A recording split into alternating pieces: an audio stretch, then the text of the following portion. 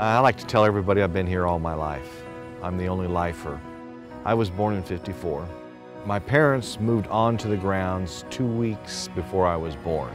And you used to live just right there, right? Well, it'd probably be somewhere about where those uh, vans are, through those little trees.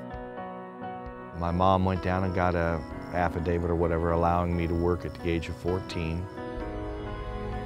I've never filled out a job app, so it's always been easy. I, I've had a job. I enjoy working in this environment. I love to fix things. And with maintenance, there's always something to fix. Well, everything from basically those gazebos south were uh, courtyards. There were three fourplexes arranged in a square with a big playground in the middle of it. In some cases, big swing sets in the back with slides and stuff for them to climb on.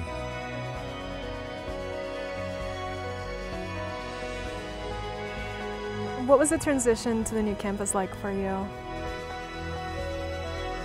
It was really hard. It was like leaving home again. I remember um, the last time my boss and I drove out of here. For some reason, he drove out through the field.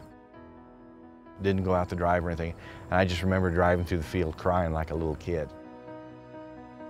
I've never left home, really. I'm where I started, basically, in maintenance at Heartspring.